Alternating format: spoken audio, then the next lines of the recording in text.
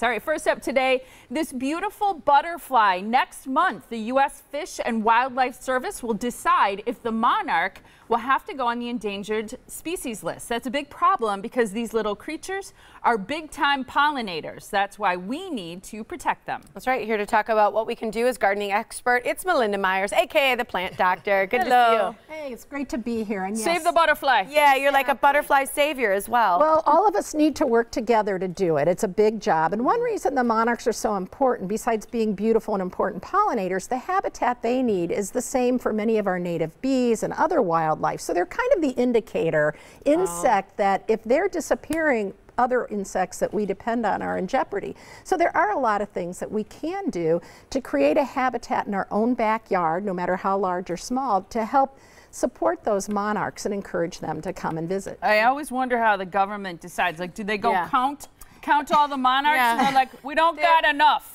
They have we little don't have tags on their them." little legs. They do. There's a really, um, I was checking the website, and the Monarchs on May 9th were as far north as Columbus, Ohio. There are people tracking their journey. They're moving a little slower this year, which is probably good because the milkweed, cold. yes, it's cold, and the milkweed that they need to lay their eggs for the caterpillar seed is coming up slowly because of our cooler temperatures. But they do count the monarchs, and they milkweed that we're monitor. looking at? Yes, this is common milkweed, and that's the best food for our monarch caterpillars. And at night, those flowers are very fragrant. It's a very vigorous plant. So if you don't have a lot of room, what you may want to do is remove the seed pods. And I brought a few into oh, the studio. you mean like it'll it'll grow, it'll extend. Yes. So Okay. I've kind of spread a few seeds around the studio. Good. Sorry.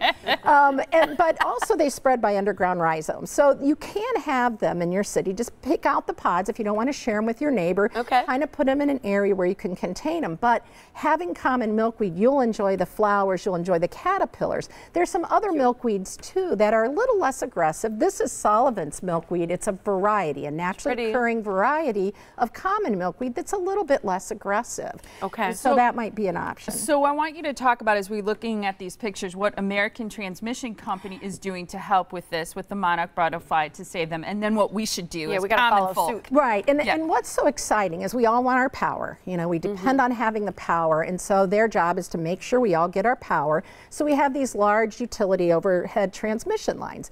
Perfect place for pollinator-friendly plants. So um, as they're clearing the way to put those up or taking care of the vegetation, putting in pollinator friendly vegetation, and in areas where the monarchs tend to travel, Mm-hmm. they're creating corridors. So, what's cool is these are big swaths of land and food. So, if our monarch can go and feed in a large area, it doesn't use a lot of energy going from flower to flower to flower, but rather one flower next to the next to the next to the next. And so, it's supporting them as they're traveling north and then traveling back down south to their winter homes. Okay. So it's very exciting to see. And what's nice is if they have to do any repair work on the transmission lines, those native plants quickly recover. So it's a short-term and long-term investment.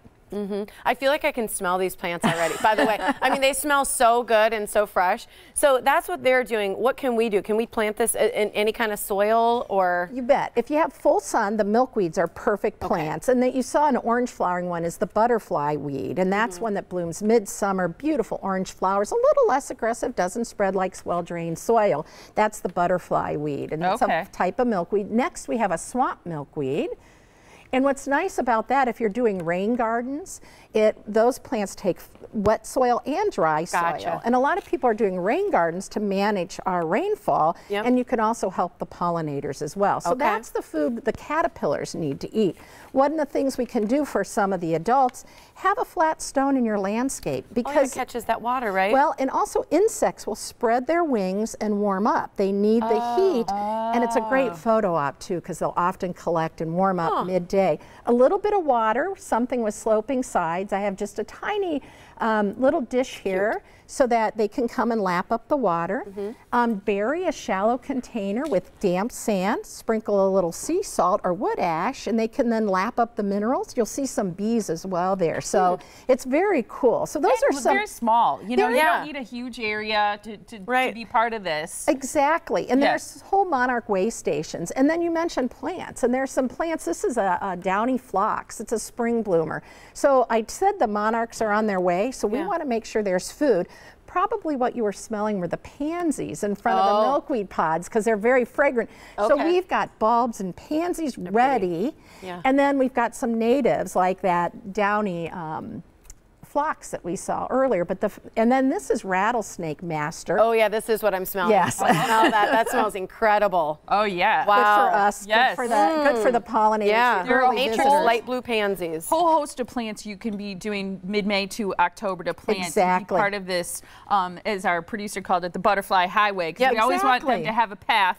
Um, to be part of our um, environment because they're important. And you gave us some great tips, things that we can all do. So you have this Party for the Planet coming up this Saturday and Sunday. American Transmission Company is doing this at the Milwaukee County Zoo.